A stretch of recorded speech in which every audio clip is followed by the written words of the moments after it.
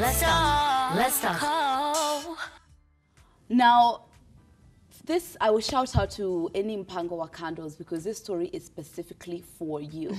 so there has been a groundbreaking case where a man has been ordered to pay bride price in seven days. Now the story goes, um, a young 18-year-old girl el- escaped home, escaped, eloped, and left home. And after her father searching for her for I don't know, a couple of weeks, couple of months, she was found to be staying in her man's home as man and wife. And now they have been together for about 10 years and they, no, not 10 years, but they've been together for quite a long time and they are living as husband and wife and they have mm-hmm. got two children. So the father has gone to court to sue her husband mm-hmm. to pay bride price. And now this comes because he had said that he would pay bride price of two goats, Mm-hmm. but he did not. He did not. He did not. Live up he did not it. deliver. So she was taken to court. He was sued, and he was demanded that he has to pay a hefty sum, I guess. Yes. So the bride price includes 10 heads of cattle, two goats, 10,000 Kenyan shillings, two blankets, one coat, and a godfather hat and gum boots.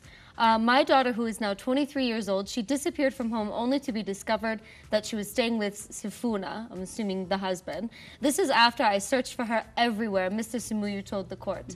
So it's interesting that the, the girl just like ran away and was just like, sure, you don't have to pay my father. I guess like F my family and everything. It's just amazing that she was willing to cut complete ties with her family. Yeah.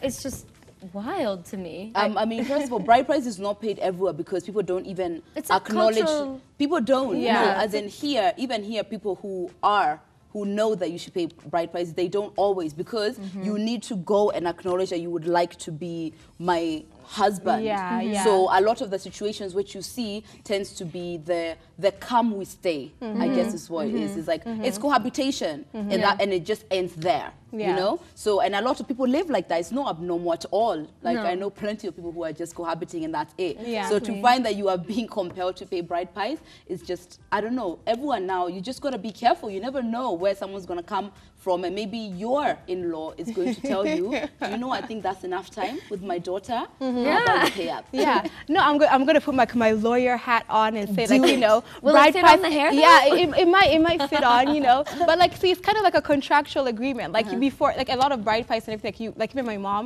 she was showing me how like you know back in the day between like her and my dad and everything. They actually like he wrote down like on a piece of paper, I'm gonna do this and this and this, gonna be this many cows, this many whatever whatever. He signed his signature. There was a witness. All of that. Yeah. So technically, if you refuse to pay, then they Yeah. Mm-hmm. can go to court and sue him, and he has to pay. Yeah. You know, like guys take it so seriously like nowadays. So like make sure that you know you ladies out there get it on paper, get it in writing. Make sure these men don't go out without you know paying your bride price. Yeah. Yeah, I mean, at the end of the day, like, ladies, know your worth, right? Yeah. Because even how it was done with me, and obviously we're an intercultural marriage, Yeah. I didn't necessarily see it as a bride price, like, okay, my husband is buying me. It's an appreciation of culture, an appreciation of knowing that I'm stepping into his family's family. Mm-hmm. So even if it's like, you know, obviously two Kenyans getting married, you, you understand and you appreciate the cultural background, because obviously, even though we're a new generation, Yeah. you want to appreciate the generations that came before you. You know, it's it's not like they're encouraging circumcision. Obviously, if they did encourage that, ladies run away.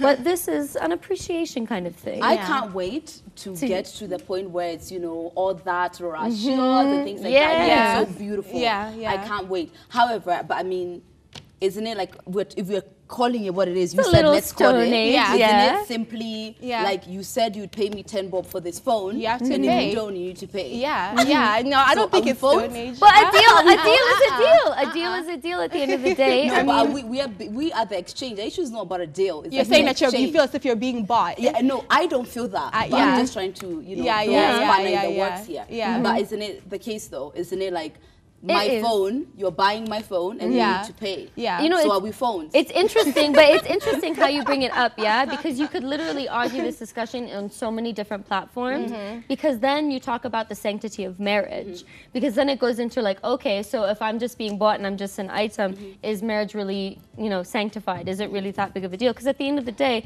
marriage really is for tax purposes. Marriage really is a contract. Right. You know, we've decided. romance. Yeah, we've, just remove we've decided at the end of the day, we've decided that it has to mean something under God when it really doesn't, you guys. It Yeah. started under tax.